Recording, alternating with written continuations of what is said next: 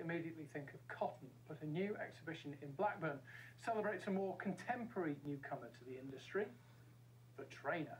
Yes, 1,200 pairs of Adidas shoes are on display, with 200 special edition Blackburn trainers sold off today for charity. You can just see them over my shoulder Right, there. well, the red stripe is for the Lancashire Rose, apparently. Collectors queued through the night to get their hands on them, as I've been finding out.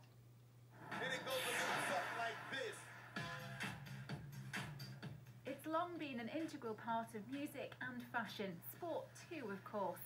But for Darwen designer Gary Aspden, the trainer is embedded in Northwest culture.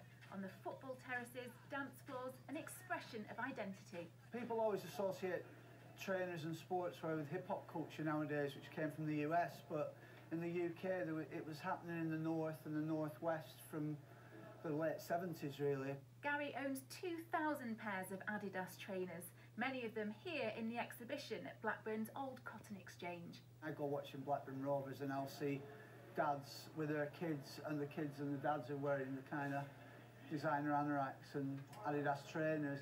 The northwest of England's probably got the highest con- concentration of Adidas collectors in the world. Sneakers superfans have queued for two days and come from across the world to see the exhibition and buy their own rare pair of the trainers. We come yesterday afternoon about two o'clock. We left Shrewsbury about half eleven. So you've been here all night? Yeah. You've come all the way from LA. Why? definitely a culture be, within a culture. The relationships I've made out here in the streets, you know, that's that's probably one of the best things that I'm going to take back. And this is what everyone here is trying to get their hands or feet on. 200 limited edition pairs of trainers. They've got the word Blackburn emblazoned on them, and 100% of the profits of the sales of these is to go to a local homelessness charity, Night Safe. I'm not gonna wear these now.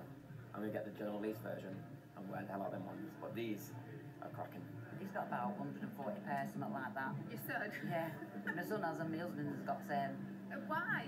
I don't know, they just love them.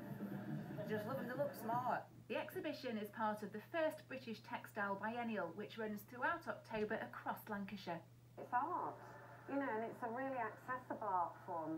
Last night at the at the launch party, it was incredible to see hundreds and hundreds of, dare I say, middle-aged men who were all really engaged in talking about design, colour, shape, form. Oslo, London, and now Blackburn. The town and the trainer a perfect fit. So you got, I didn't get a pair. but you found a bloke who'd come all the way from Los yeah, Angeles. and that wasn't it. pair of trainers. Australia, uh, Hong Kong. Unbelievable. But lots of people wouldn't go camping. I think they took the day off to Equals uh, go ex- for cute. exercise equals pain. Nothing wrong with a good pair of black shoes. Right, uh, let's But, move on to sport, yeah, let's move on to sport. There's a busy weekend